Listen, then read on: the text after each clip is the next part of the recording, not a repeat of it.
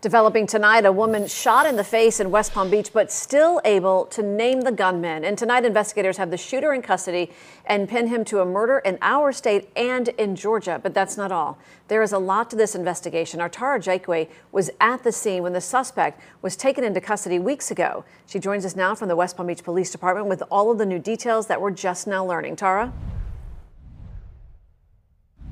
West Palm Beach police announcing a big arrest of a man wanted for a crime spree he started back on September 29th in Georgia and ended right here in West Palm Beach on October 3rd.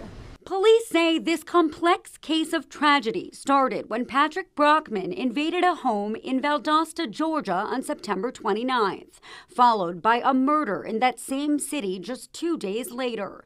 Authorities say he then drove to West Palm Beach, where on October 2nd he shot a 22 year old woman in the face. She survived. But then investigators say he fatally gunned down a 43 year old man in the middle of the street.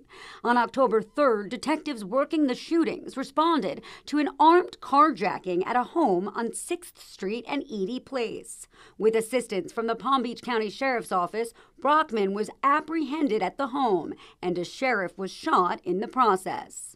Brockman is facing multiple charges, including murder with a firearm and possession of a firearm as a convicted felon. There's no word yet on a motive. He is being held in Palm Beach County Jail.